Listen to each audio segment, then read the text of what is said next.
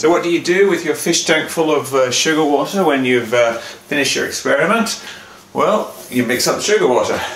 This laser is bent because of the sugar gradient going down here, denser at the bottom so it bends down. So if I was to stick this in here and swirl it around, we should in theory get uh, the, the laser straightening out. So let's see what happened.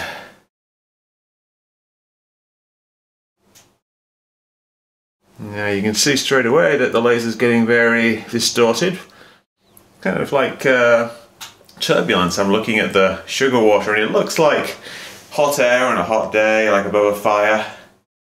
So if I mix it up and then let it settle down, oops, knocked over one of my pylons, we should see that the laser becomes straight. Now it's bouncing around a bit because of the turbulent water, but you can see already it's straightened out.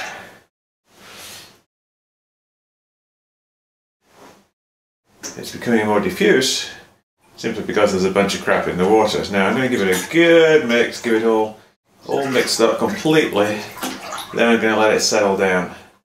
I also have my camera at the end, my iPhone, which is doing the kind of uh, skyline view. Oops, knocked over all of my pylons, unfortunately. Hopefully we will be able to see something from inside. Right, since I've already knocked it over, I'm going to give it a really good mix.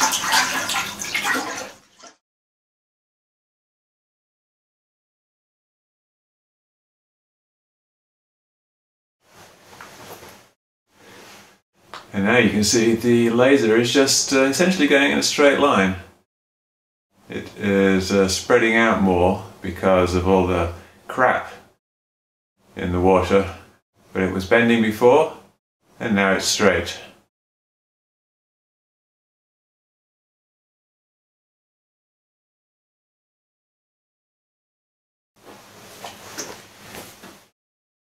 Straight line now and let's see if I move it around a bit.